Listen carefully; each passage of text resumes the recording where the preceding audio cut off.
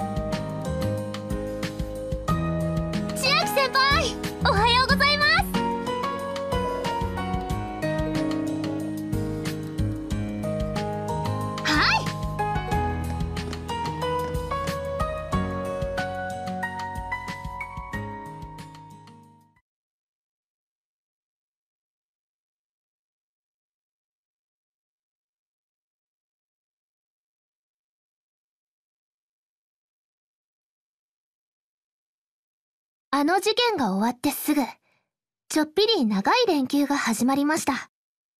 学園の武道場も閉まるため、どう過ごそうか考えた結果、私は千秋先輩と一緒に自主トレに励むことにしたのでした。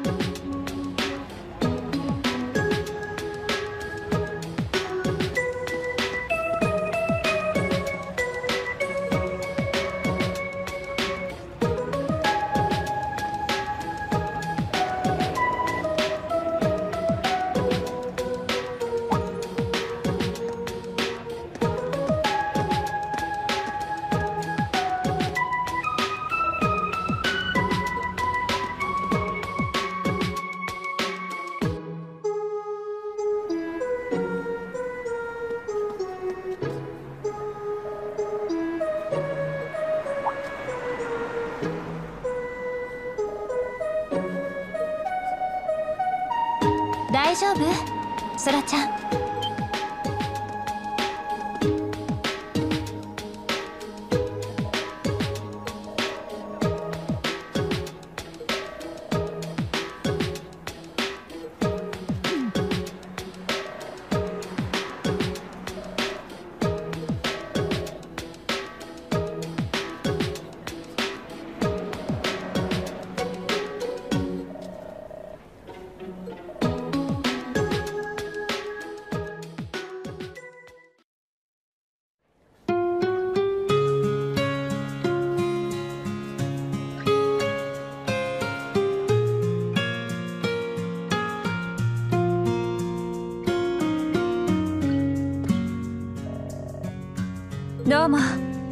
すがの仕上がりですね。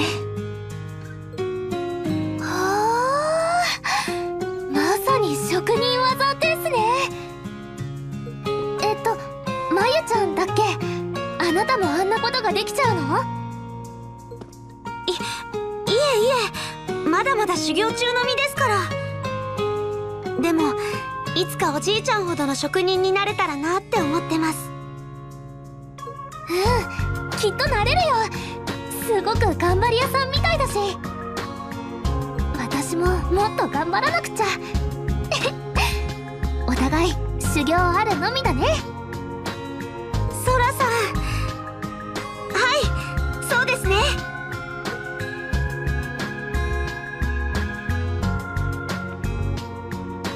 とまあこんなところね。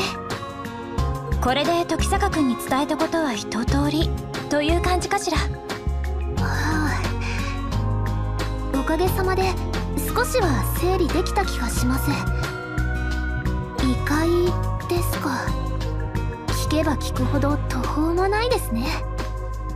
コウ先輩とアスカ先輩がいなかったら私も千秋先輩もどうなってたかその一つお聞きしてもいいでしょうか。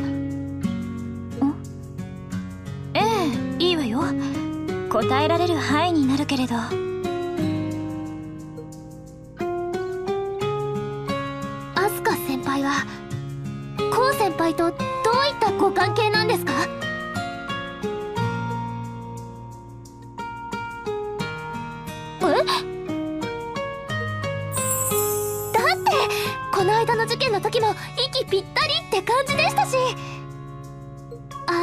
で一緒に戦うんですからよほどの信頼関係なんですよね。ごめんなさい。何か期待させちゃったみたいだけど。今まで時坂君と一緒に戦ったのは単なる成り行きに過ぎないわ。ソラちゃんや相沢さんの件も含めてね。そうなんですか？この際言っておくけど私はできるだけ一般人を巻き込みたくはないの。協力を申し出てくれたあなたや時坂君についても同じよ。だからそれに関しては頭の片隅に置いてくれる程度で大丈夫。危険度が低い仕事やよほど人手が必要になる場合ならお願いしようかと思ってるけど。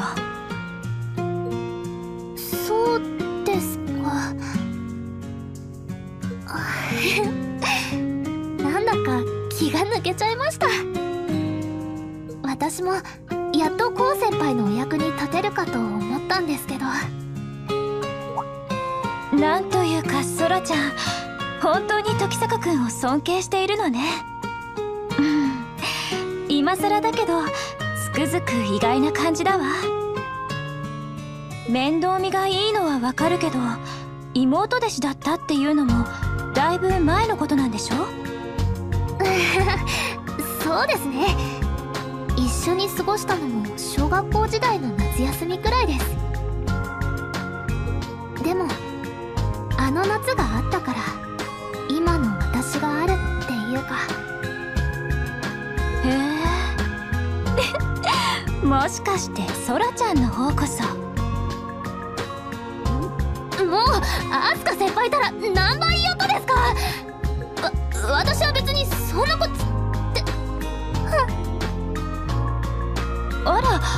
その喋り方は？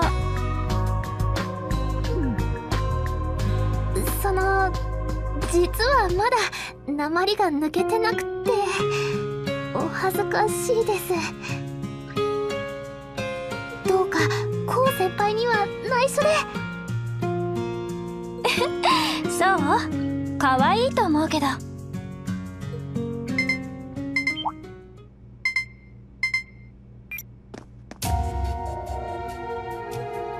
通知ですか？ホロス。ええすぐ近くです。至急確認に向かいます。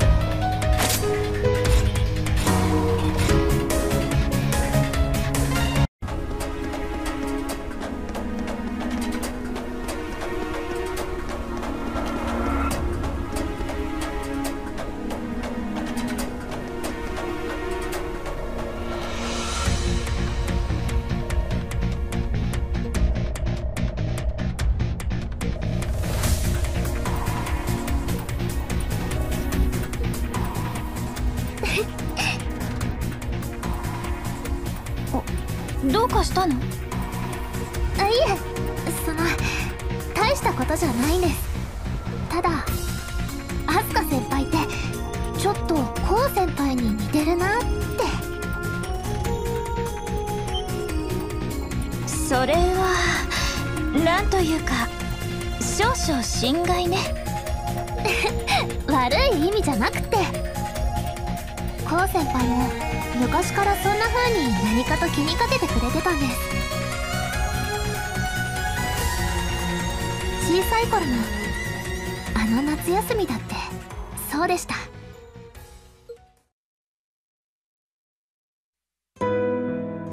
九州からお父さん師範と一緒に九重の道場に修行に来て。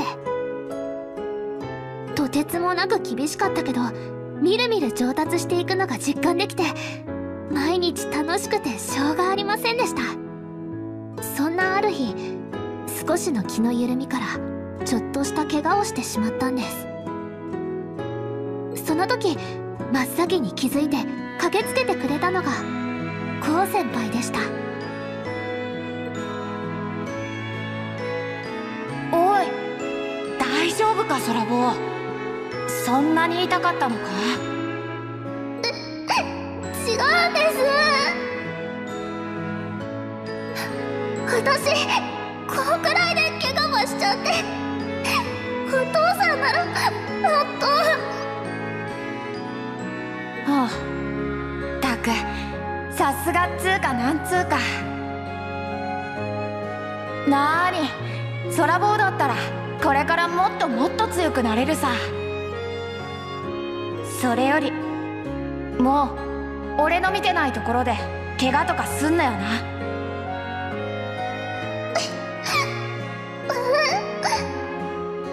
心配だって言ってんの。そりゃ実力はお前が上かもしれないけど。お前は俺の妹弟子なんだからさ。こう先輩？おほら分かったら行こうぜ。そんな怪我なんか早く治してまた修行頑張んなきゃだろ何気ない一言でしたけどその時思ったんです。いつか私もこう先輩みたいになりたいって。それはきっと千秋先輩に感じた強さにも通じてるんだと思います。だから何と言われようと私はアスカ先輩に精一杯協力します。先輩ならきっとそうするから。ソラちゃん。まったくもうあなたたちと来たら。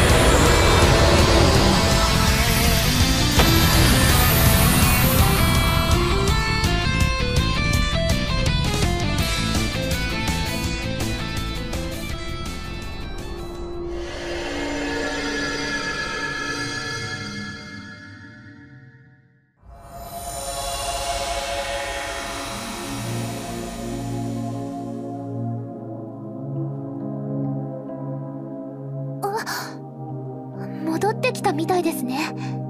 ええなんとか任務達成ね。だけど今の異界迷宮は考えすぎなのかしら。え？いえ気にしないで。それよりソラちゃん怪我はないわね。はいおかげさまで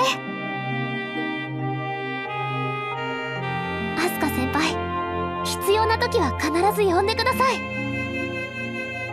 私もコウ先輩もいつでもお待ちしてますから。分かったわ。これからもよろしくね。ソラちゃん。